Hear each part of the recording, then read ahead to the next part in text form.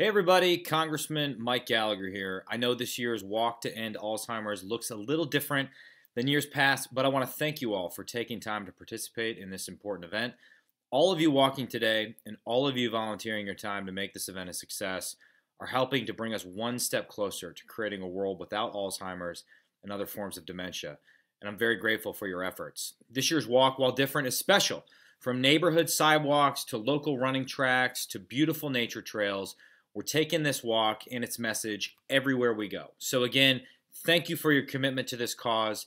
This work would not be possible without people like you who are leading the charge in our very own community and supporting the nearly 130,000 people who suffer from this horrible disease. So, thank you for your commitment to this cause.